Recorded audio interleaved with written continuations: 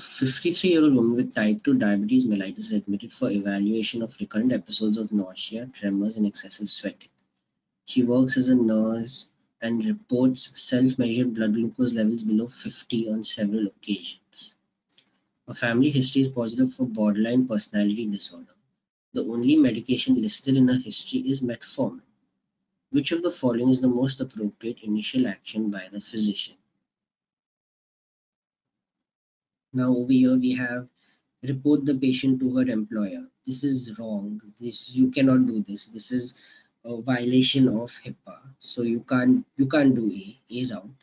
Ask the patient if she is taking any medications other than metformin. This could be a likely option. So we'll keep this in mind. C. Search the patient's belongings for insulin.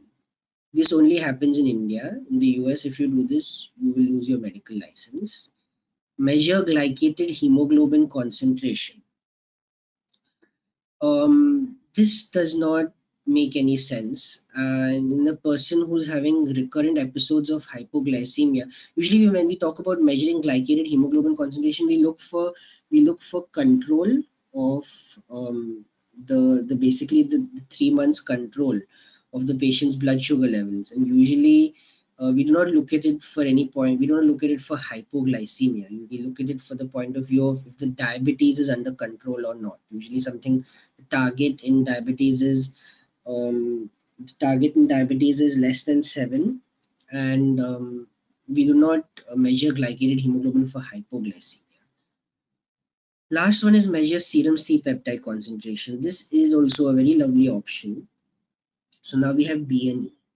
Now, when we look at the question again, okay, we see her blood glucose levels below 50 on several occasions. She's had recurrent episodes of nausea, tremor, excessive sweating. These all signs of hypoglycemia. Now, just make note over here that this is family history. This is not personal history of borderline personality disorder. Just because someone has a family history of borderline personality disorder, that does not mean that they have other psychiatric disorders or they have the same disorder themselves you have to always uh, approach each patient objectively and subjectively. Now, the only medication listed in the history is metformin. All right. Which of the following is the most appropriate? Now, the question is what is also important. Which of the following is the most appropriate initial action by the physician? All right, initial action. That's what's important. So now just picture this in your mind. Picture this that a patient has come to you with type 2 and she's admitted in your in the ward for recurrent episodes of hypoglycemia and blood glucose levels are low. You are now you know all of this and this is your, your first visit with her. Probably she's inpatient your first visit with her you're seeing her on the morning rounds. And you before you even before you even can order any test what is the first thing that you do all of these things you've got all of these things in the question you've got from her history that probably other people have taken or probably that she's given herself. You have not spoken to her. You come and you, you, you look at her on morning rounds. The first thing that you do is you start talking to a patient right? You don't start ordering tests immediately. You talk to a patient. You'll be like okay so i see that you've had this this this. This is suggestive of hypoglycemia. Your blood glucose levels have been low um, you obviously don't talk about her family history from borderline personality disorder. She won't understand what that is probably. And then the next thing you say that, oh yeah, I, I see that you're only been taking metformin. And the next logical question is, since she's had hypoglycemia, the next logical question that you'll ask her is, oh, have you been taking something else other than metformin? Have you been taking something else other than metformin? I mean, this is how a conversation goes. I know that that these questions um, sometimes you're looking at this from a doctor and things like that but sometimes you need to put these questions into perspective in the real world scenario.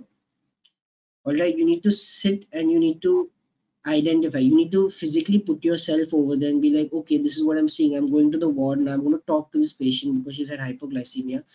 You're not going to directly order a c-peptide concentration maybe it's something that you will do later on. If she says yeah i'm only taking metformin i'm not taking anything else and then you still feel that oh she's she's probably lying about it. She doesn't seem so so sure about it.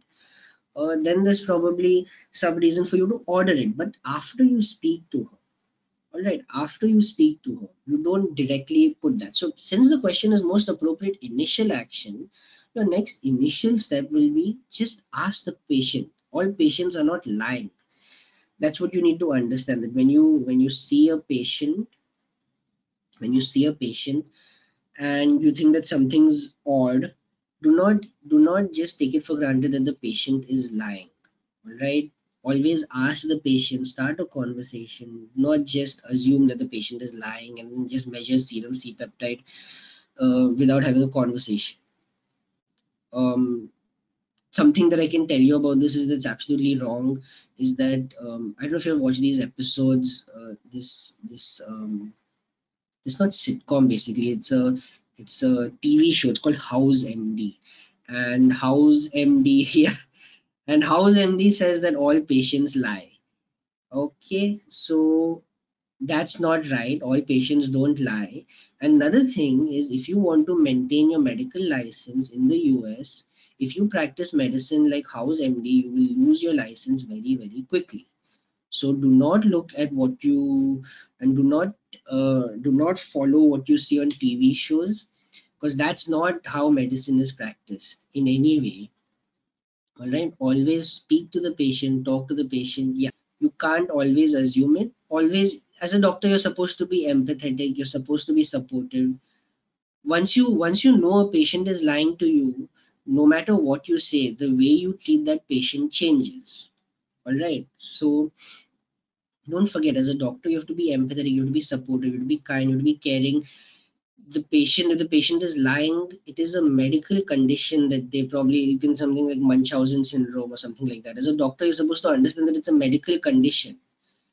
It's not that the patient is malicious. All right. It's not that the, that she's probably there's probably some some psychiatric illness but um, do not always assume that all patients lie Thanks for watching. Please give a thumbs up and subscribe for more.